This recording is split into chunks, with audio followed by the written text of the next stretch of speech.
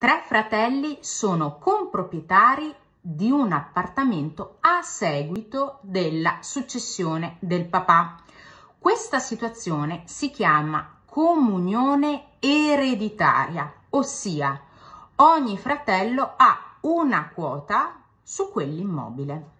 Ora, quella quota deve avere una veste pratica, concreta, quindi cosa succede? occorre passare dalla comunione alla divisione ereditaria. Nella pratica cosa può venire? Se possibile, quell'appartamento può essere diviso in tre, ma ogni parte deve corrispondere alla quota di ciascun fratello.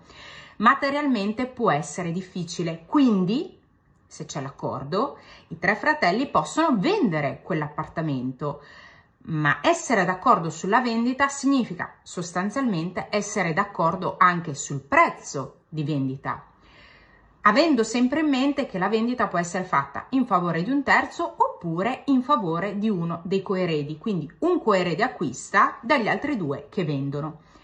Altrimenti, se accordo non si trova, la divisione può avvenire giudizialmente. Ma questo cosa significa? Vuol dire andare in causa e andare in causa significa spendere soldi, energie e tempo. Domandatevi sempre, ne vale la pena? Buona giornata a tutti, ciao!